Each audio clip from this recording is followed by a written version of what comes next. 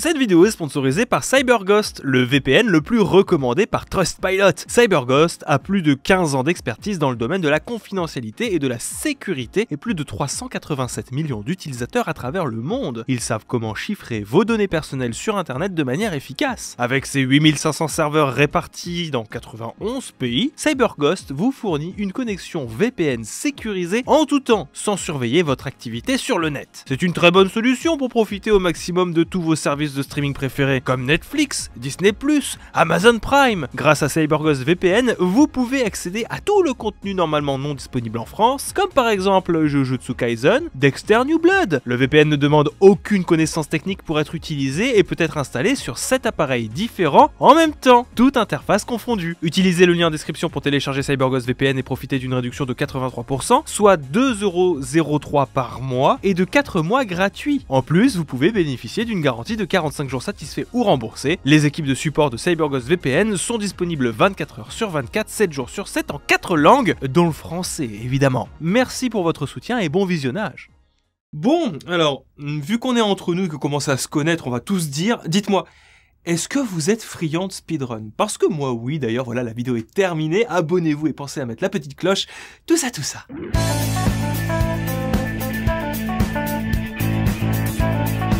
Dis-moi, tu l'as pas déjà faite cette blague?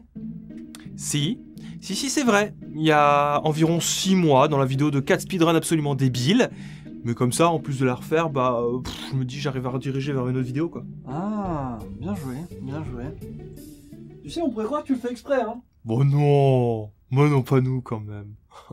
Plus sérieusement, à moins d'avoir grandi en Lozère ou dans la Creuse, désolé pour les balles perdues, il y a de grandes chances que vous ayez déjà été en contact une ou plusieurs fois avec le terme de speedrun. Streamer, youtubeur ou juste joueur amoureux du concept, en tout ce sont des millions de personnes qui tous les jours s'affrontent pour être les numéros uno les plus rapides des gamers sur cette scène qui fascine autant qu'elle intimide. Ce qui n'a rien de surprenant quand tu connais toutes les catégories de speedrun, il y en a pour tout et n'importe quoi, sur n'importe quel jeu. Trouver un chien le plus rapidement sur Minecraft, finir Resident Evil 3 sans prendre de dégâts, faire tout Ocarina of Time sans ouvrir la moindre porte, et même ce softlock le plus rapidement possible, ça ne manque pas, et du moment que les règles le permettent, tous les coups sont permis, même si pour ça il faut user et abuser de bugs ou autres glitches. Pour vous dire, c'est si vaste et la communauté si grande qu'on pourrait presque affirmer que si vous pensez à une manière bien spécifique de jouer à un jeu, quelqu'un l'a forcément déjà tenté en speedrun avant vous. Par exemple, finir un jeu sans toucher sa manette et le laisser défiler en espérant avoir de la chance.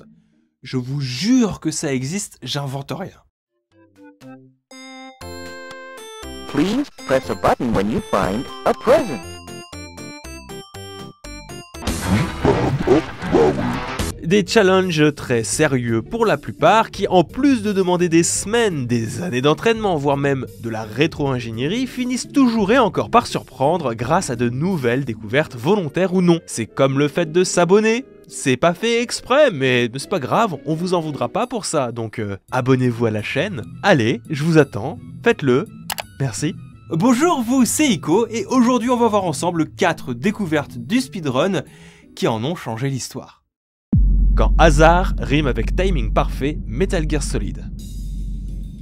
Quand on pense speedrunning, on pense souvent partie qui défile à la vitesse de l'éclair, gros score de tentatives échouées bien oppressants, et joueurs qui connaissent sur le bout des doigts leur support, ainsi que leurs secrets et leurs raccourcis. Des secrets qui souvent deviendront totalement légendaires sur internet, comme le backward long jump de Mario 64, le bullet time bones de Breath of the Wild, ou cette technique assez bizarre qui consiste à faire mourir de vieillesse un boss de Metal Gear Solid 3, Snake Eater, et rigolez pas, pour cette dernière c'est réel. Des découvertes exceptionnelles, souvent synonymes de mois, voire d'années de recherche, enfin, euh, peut-être pas toujours, mais est-ce que vous connaissez Metal Gear Solid premier du nom avant toute chose? Sorti fin 98 aux États-Unis, Japon et début 99 par chez nous, gueux européens, Metal Gear Solid s'est rapidement imposé comme un classique dès son apparition en magasin. Un succès qui, de manière assez logique, va en faire un jeu qui, des années plus tard, sera très souvent speedrunné, avec ou sans tous les boss, avec ou sans l'utilisation de glitch considérés comme trop abusifs, et bien entendu, le salade tomate oignon via les catégories de difficulté difficulté, très facile, facile, normal, dur, extrême. Vous comprenez l'idée et faute de nouvelles techniques, la plupart des runs vont plafonner entre 50 et 39, 38 minutes. Un plafond de verre virtuel des records qui sera malgré tout brisé sans que personne ne le voit vraiment venir. Genre, vraiment pas même la personne concernée. Nous sommes le 14 août 2021 et Boba, streameuse, ainsi que membre du célèbre groupe de youtubeurs Yoggcast, vous savez, ceux qui ont fait un jeu Kickstarter à 500 000 euros et qui ont absolument tout foiré, joue justement à Metal Gear Solid en live. La partie se passe ma foi plutôt bien, Boba avance tranquillement et finit par atteindre la zone des tours de communication, un niveau singulier qui va donner du fil à retordre à la streameuse, et pour cause, celui-ci en plus d'être relativement difficile, demande aux joueurs d'escalader deux grandes tours A et B, le tout en étant poursuivi par des gardes. Il n'y a aucune alternative et pour pouvoir passer d'une tour à une autre, il faut absolument monter au bout de la première. La porte menant à la plateforme entre celles-ci étant bloquée à cause du froid. C'est quelque chose qui prend un certain temps, qui peut devenir très compliqué si on se laisse déborder et dans l'ensemble c'est inévitable, sauf pour Boba. Let me in. Oh, I don't even remember my sh- What? Uh, help me? Help. Help? What happened? Hello? What?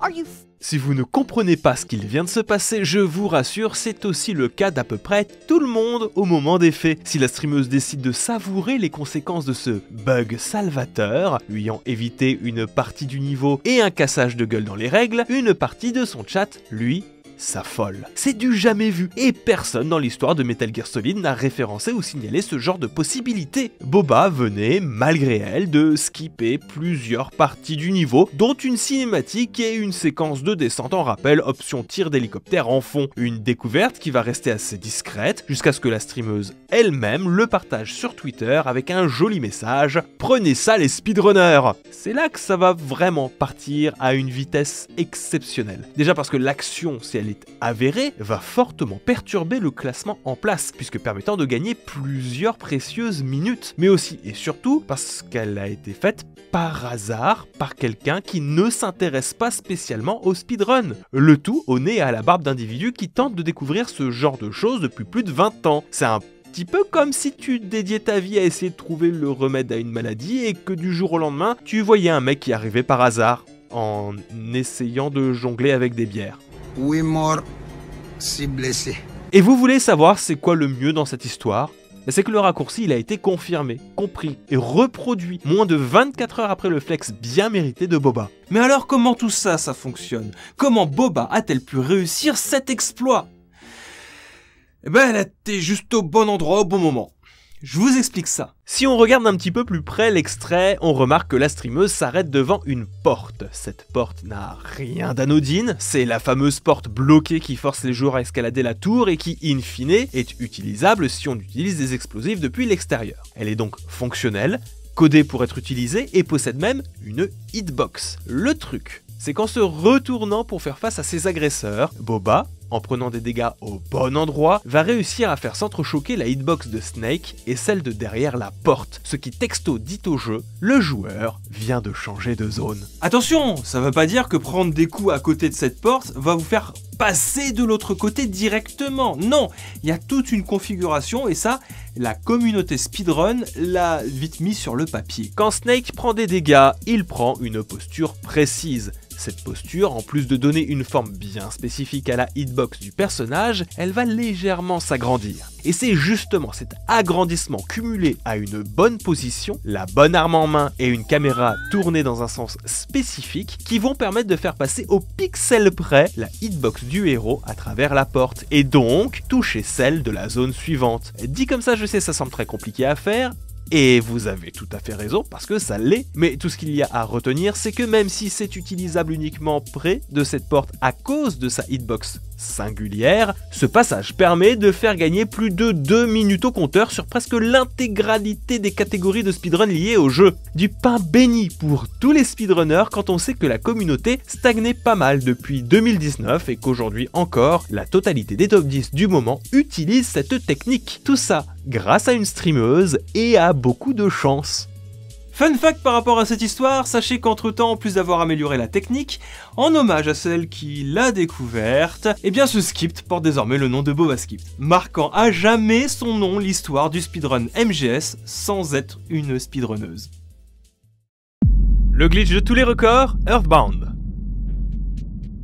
Alors je sais déjà que ce doux nom sifflote tout doucement aux oreilles de beaucoup de connaisseurs, et je vous avoue, je vous avoue que je les comprends. Apparu en 1995 et développé par HAL Laboratory et Ape Inc. sous l'égide de Nintendo, Earthbound aka Mother 2 Gigu no Gyokushu, c'est la suite officielle de Mother 1, un premier jeu qui, bien que prévu initialement aux États-Unis, des années auparavant lui aussi sous le nom d'Earthbound, finira par être annulé, restant de facto la chasse gardée des Japonais jusqu'à l'apparition du second opus. Pour être sûr que tout le monde a bien compris, dites-vous juste qu'à la base Mother 1 était censé avoir comme nom en Occident Sauf que, vu qu'il n'est jamais sorti, bah, c'est sa suite, Mother 2, qui en a hérité de ce nom, faisant fi de toute numérotation. C'est certes pas super malin, mais malgré un lancement assez difficile à cause d'une com tout aussi désastreuse que la gestion des noms, le jeu va s'imposer comme un pur classique des RPG, donnant au passage naissance à l'une des communautés les plus déterminées à diffuser l'imagerie de leur jeu préféré.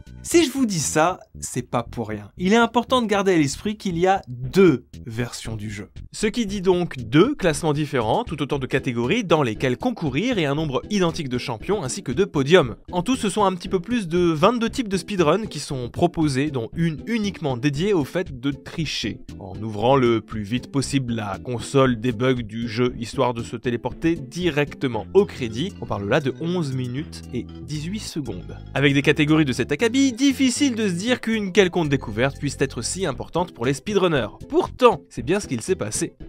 Ça a même permis à un seul homme d'aller au bout d'une très très longue quête, celle de la prise de contrôle de toutes les catégories. Il y a vraiment quelqu'un qui, dans le monde, a décidé d'être un numéro 1 partout. Sur Mother 2 en japonais du coup, et sur Earthbound en anglais. Cette personne, c'est Octopuscal, un joueur japonais jusqu'ici assez discret et qui en 2019 sans trop qu'on sache pourquoi, s'est dit que ça serait quand même vachement cool de speedrun Mother 2. Le joueur est plutôt bon, il est même relativement excellent, et en deux ans il va totalement poncer l'intégralité des runs possibles. Le bonhomme collectionne et monopolise les médailles d'or, et rien ne semble l'arrêter. Un sacré palmarès qui va le pousser fin 2021 à se dire qu'au fond, Earthbound c'est exactement pareil que Mother 2, et qu'il est grand temps d'aller s'occuper de ces gaijins là. Chose qu'il a fait d'ailleurs, et ça va très bien se passer.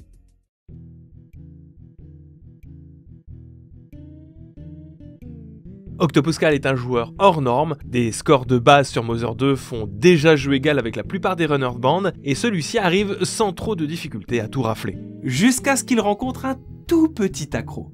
Effectivement, dans le lot de ses victoires se retrouve une catégorie qui lui résiste, le Any% All Photos, qui, pour le décrire de manière assez simple, demande aux joueurs et joueuses de finir le jeu en ayant réuni les 32 photos possibles à faire dans l'aventure. Certaines sont impossibles à rater, d'autres sont limite perdues dans des coins, et c'est bien là que ça cache toute la subtilité de la run. Le truc, c'est que dans cette catégorie, la compétition fait rage, et Classic James, un autre speedrunner tout aussi performant, s'accroche de toutes ses forces au record du monde avec un temps de 2 heures, 2 minutes et 56 secondes, soit à peine 21 secondes de moins que le record du joueur le précédent au classement. C'est un sacré défi, ça va de soi, mais le hasard et un tout nouveau glitch vont offrir un petit coup de pouce à Octopuscal. 12 mai 2022, AND4H, un speedrunner aux multiples places sur plusieurs podiums, est en train de s'entraîner sous une version randomisée de Earthbound. La run se déroule normalement, le timer est même plutôt bon, mais alors qu'il est en plein combat, AND4H se rend compte que quelque chose ne va pas avec un de ses objets le trick yo-yo, qui en plus de ne pas fonctionner, finit même, pour une obscure raison, par être remplacé dans ses slots d'équipement par un tout autre objet, une souris de sortie, l'équivalent d'une corde sortie dans Pokémon. Ce qui, attention, je le précise, n'a rien de normal, étant donné que c'est un consommable et qu'on n'est pas censé pouvoir équiper les consommables. Et même si au départ, l'événement va être perçu comme un bug aléatoire lié à un randomizer en question, peu à peu, et comme toujours dans la communauté du speedrun, certaines voix se font entendre. C'est une multitude de joueurs qui vont remonter sur le Discord dédié au Speedrun Earthbound et qui vont décortiquer et même reproduire le bug qu'a rencontré AND4H. Pour commencer, ça n'est pas lié au randomize et c'est même utilisable sur les versions standards du jeu, figurez-vous. Ensuite, ce glitch est bien plus intéressant qu'il n'y paraît car semble directement provoqué par la construction assez peu commune de l'inventaire d'Earthbound. Dans Earthbound, chaque personnage possède 14 emplacements d'inventaire. Ceux-ci ont, dans les codes du jeu, des numéros attribués allant de 1 à 14 et ces emplacements, même vides, gardent leur numéro. 1, c'est toujours 1, 14, c'est toujours 14. Peu importe le nombre d'objets sur vous, si vous en retirez ou vous en ajoutez, c'est leur numéro d'emplacement qui va évoluer et pas l'inverse. Là où ça se corse, c'est qu'en parallèle, les objets sont eux-mêmes catégorisés dans le code source du jeu par des numéros de genre 1 est égal aux armes, 2 au torse, 3 aux bras, 4 aux accessoires et 5, on le suppose, aux consommables. Jusqu'ici rien de très surprenant, c'est plutôt bien classé pour que le jeu tente d'y voir aussi clair que possible, sauf que c'est aussi cette manière de fonctionner qui va totalement faire dérailler le système. Prenez 2-3 doliprane parce que ça va devenir encore plus compliqué. Attention, hein, c'est une vanne, ne prenez pas plus d'un doliprane et, dans un temps respectable parce que sinon ça va être dangereux pour la santé. Je, pense qu'on vous l'a déjà assez dit. Dans le combat d'AND4H, on voit très bien que le trick yo-yo est dans le huitième emplacement lors de son utilisation. C'est à cet instant que le jeu confirme la nature de l'item, un accessoire. Pour le jeu, c'est donc 4 et son emplacement un 8. Toutefois, on voit aussi que dans le même round, même si ça va très vite, le nounours lui, est dans le troisième emplacement, est détruit.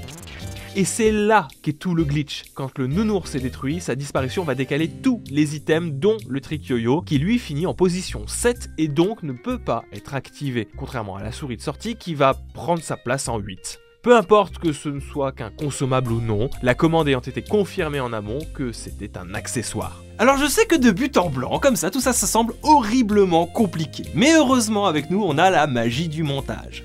L'erreur ici vient uniquement de ce système d'inventaire qui, à cause d'un décalage, permet de changer la nature d'à peu près tous les objets, et donc d'équiper des items normalement non équipables.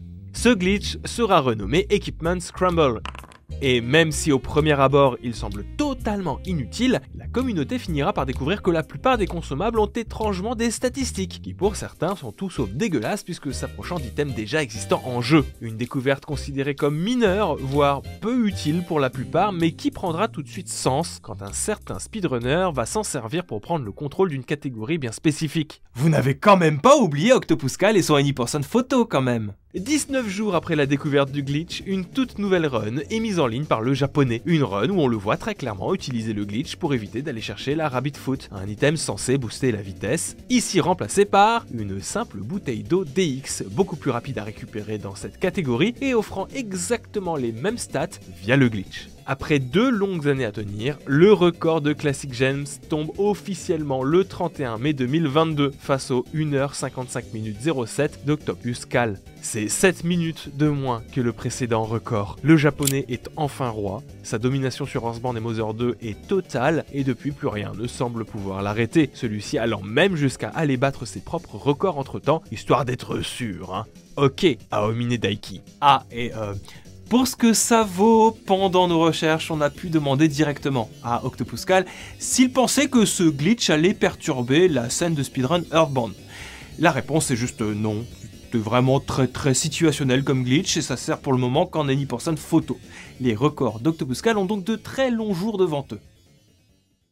Un accident et une combinaison ultime Pokémon TCG.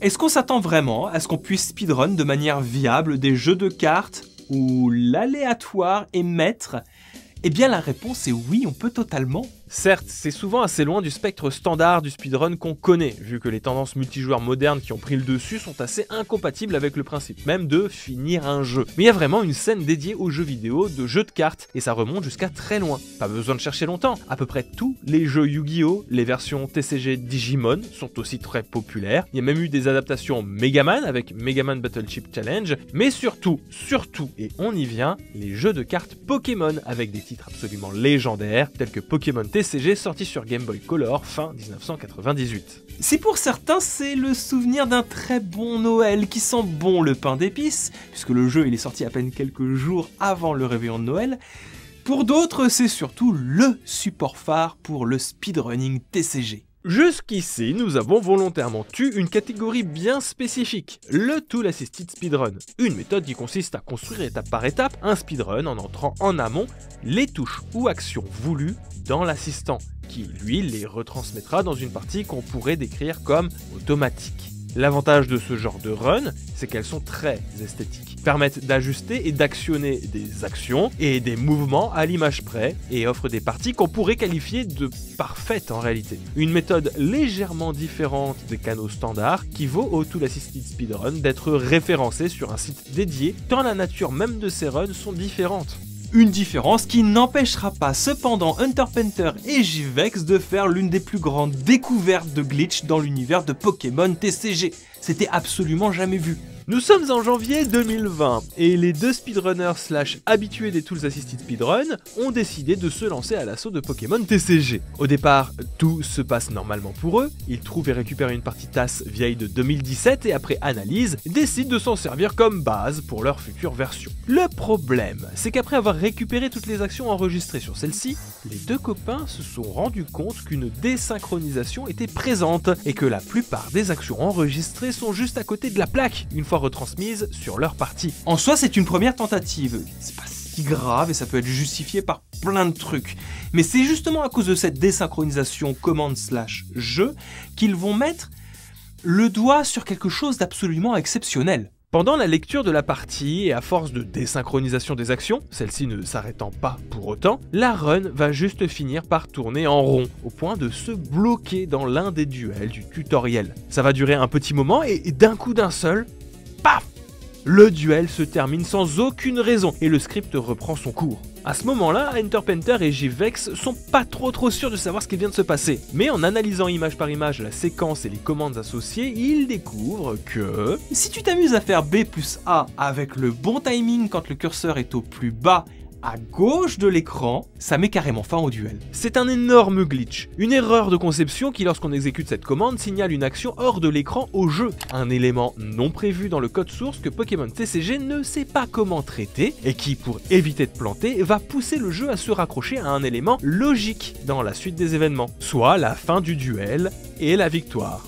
Oui, la victoire. La partie du tuto finissant par défaut en victoire. C'est en tout cas ce que le jeu va retenir pour tous les duels, du moment qu'on utilise bas plus A. Enfin, à condition de vous en servir tout le temps. Parce que si vous perdez entre temps, il va garder en mémoire la défaite. Cerise sur le gâteau, le glitch est en plus de ça totalement utilisable sans l'aide d'un script ou d'une machine, et donc possible manuellement. Un glitch qui ne mettra que très peu de temps à être reproduit, laissant les records du monde passer de 46 minutes à entre 3 et 13 minutes. On parle d'un gain de temps de plus de 30 minutes sur un seul et même glitch.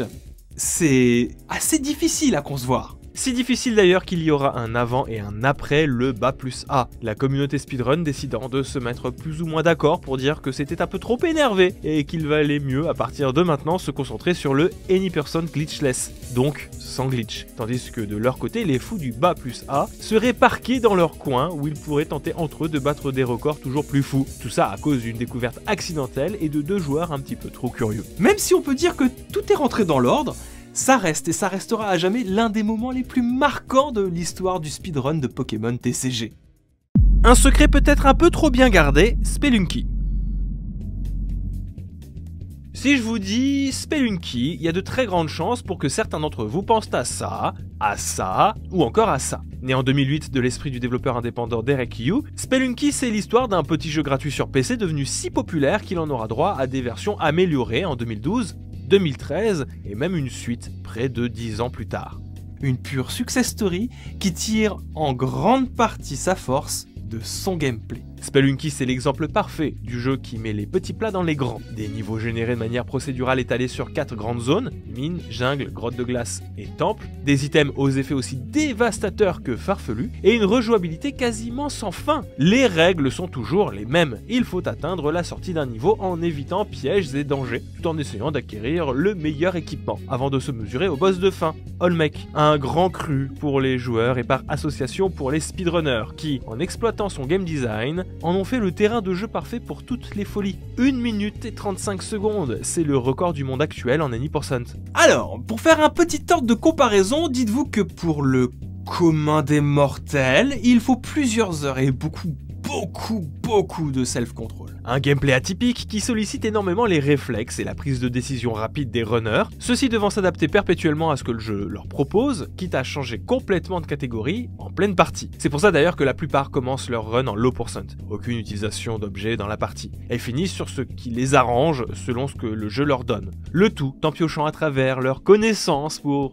exploiter au maximum ce qu'ils ont reçu, rendant chaque run aussi unique que palpitante. Bref, c'est très rigoureux, c'est très encadré, ça demande un certain sang-froid, et la moindre découverte semble tout droit sortie d'un bureau d'études ayant mobilisé des centaines de personnes. Alors quand le 26 septembre 2022, un parfait inconnu est arrivé sur le Discord officiel, la bouche en fleurs, avec une vidéo de lui en train de faire quelque chose auquel personne n'avait jamais pensé, Ah bah disons que ça a été l'euphorie. La communauté n'en croit pas ses yeux. Le dénommé River Run venait de partager dans le plus grand des calmes la découverte d'un raccourci que personne n'avait remarqué depuis 2012, depuis dix longues années où Nuit Blanche et autres théories craft n'étaient pourtant pas venus à bout de ce secret. Dans cet extrait, on y voit donc River Run en plein combat contre Olmec, le boss principal du jeu, réussir à détruire cette porte. Pour les non-initiés, je sais que ça ne doit pas dire grand-chose. Cependant, pour les connaisseurs, eux, eh ben, ils devaient déjà voir que quelque chose clochait. En effet, habituellement, pour faire disparaître le bloc devant cette porte qui mène aux enfers, afin d'avoir une fin et un boss alternatif, il faut normalement le livre des morts. Un item clé bien précis que n'a pas notre héros du jour dans l'extrait, et qui demande de son côté une multitude de prérequis super pénibles et pas du tout très longs, comme 1. récupérer le headjet en mourant et en revenant à la vie près d'une grosse statue dans l'un des niveaux des glaces, 2. Récupérer le sceptre d'un Anubis très énervé et se cachant dans les niveaux du temple. Et 3. Se servir de tout ça pour aller ouvrir la porte d'or, donnant accès au niveau secret de la Cité d'Or, où vous pourrez enfin mettre la main sur le livre des morts. Entre temps, il y aura un Anubis 2 qui va apparaître, mais ça, c'est un détail. Ces manœuvres pour récupérer ce livre, c'est ce qu'on appelle la chaîne expliquant au passage pourquoi dans les catégories de speedrun, il y a autant de différences de temps entre le Any% et le L%. Mais c'est aussi ce qui explique pourquoi cette découverte est aussi importante pour la communauté. River Run venait de démontrer qu'il était possible d'ignorer cette fameuse chaîne et donc d'éventuellement gagner du temps sur la catégorie L%. Hormis la découverte en elle-même, qui, euh, je vous le dis, est toute sauf banale, est-ce qu'on sait comment est-ce qu'il a réussi ça? Oui, on sait. River Run s'est juste servi d'Olmec comme un gros casse-noix pour détruire le bloc de la porte des enfers. On l'a vu, Olmec c'est un boss un peu spécial. Déjà il a pas de corps, ce qui est un peu relou pour lui. Ensuite, le seul moyen de le vaincre, c'est de le forcer à se jeter de lui-même dans la lave, en se servant de sa capacité à pouvoir détruire tous les genres de blocs, à condition qu'il tombe directement dessus. Une action qui, techniquement, ne peut pas arriver avec la porte des enfers, puisque celle-ci est en lévitation au-dessus de la lave. Du coup, il n'y a que deux options. Soit tu as le livre des enfers, bah soit tu l'as pas. Sauf si on décide de faire comme River Run et d'avoir un excès de logique, c'est-à-dire de pousser des cubes dans la lave pour faire d'Olmec un banal marteau, ne pouvant que détruire le bloc qui barre le passage des enfers. C'est d'une simplicité déroutante. Mais ça marche, ça marche Et personne n'y avait pensé en 10 ans. 10 ans sans que quelqu'un ne se dise Tiens, il y a peut-être un truc à faire avec ces blocs et la grosse tête du bonhomme. C'est comme, je sais pas, si tu te douchais à l'eau froide pendant 10 ans et que un- du jour au lendemain, t'as quelqu'un qui est venu chez toi et qui t'a montré la, la manivelle à côté. L'eau chaude. C'est du jamais vu dans toute l'histoire de Spelunky. La découverte est primordiale, mis à part le fait qu'elle ouvre de tout nouveaux horizons pour certains types de runs, de leur côté, et malgré la difficulté pour reproduire ce raccourci de manière optimale, les speedrunners se sont bien entendu empressés de tenter de l'exploiter. Au moment où je vous parle, les records Hell%, sans la chaîne, s'approchent dangereusement du podium. Plusieurs speedrunners assurant que ce n'est qu'une question de temps avant qu'un record difficile à battre sans cette méthode ne finisse par s'imposer. L'histoire est donc en train d'être écrite, et c'est justement pour ça qu'on se devait absolument d'en parler. Parler de ce raccourci resté si discret pendant autant de temps, découvert par pur hasard et sur le point de tout changer pour un bon nombre de runners. D'ailleurs, je serais vraiment pas surpris que d'ici les prochaines semaines, cette même découverte soit à l'origine d'un des plus grands records du monde de l'histoire de Spelunky. En tout cas, et en attendant, je compte sur vous pour, lorsque ça arrivera, dire que c'est ici que vous l'avez vu en premier. Et c'est ça la magie avec le speedrun, c'est qu'on a beau ne pas être dedans, ne pas forcément être initié à ce genre d'événement, c'est et ça reste des moments qui marquent. C'est des découvertes qui offrent de la joie. Il suffit de voir comment la plupart des médias mainstream, pourtant souvent déconnectés de l'univers du speedrun, partagent et arrivent même à se fédérer autour de ces histoires. Faut dire qu'il y a de quoi, hein. Découvrir du jour au lendemain que n'importe qui est capable de mettre le doigt sur d'immenses secrets, qu'ils soient des bugs ou des raccourcis, c'est vendeur. Et on se permettrait presque d'imaginer que ça pourrait nous arriver, à nous aussi. C'est absolument fascinant. Et le simple fait de me dire qu'il existe et où reste sûrement des secrets de ce genre dans des jeux qui ont marqué des moments de ma vie, bah ça me fait rêver. C'est d'autant plus marquant de se dire qu'il y a encore certainement dans nos jeux modernes et qu'il faudra attendre 10, 20, 30 ans pour en entendre parler. Puis qui sait, c'est peut-être vous qui les trouverez. Après, vous êtes abonné à la chaîne évidemment. N'oubliez pas que la vie ça fait souffrir, tu peux le voir dans chaque chose qui t'entoure. C'était Ico. Ciao N'oubliez pas d'utiliser le lien en description pour télécharger CyberGhost VPN et profiter d'une réduction de 83%, soit 2,03€ par mois et de 4 mois gratuits.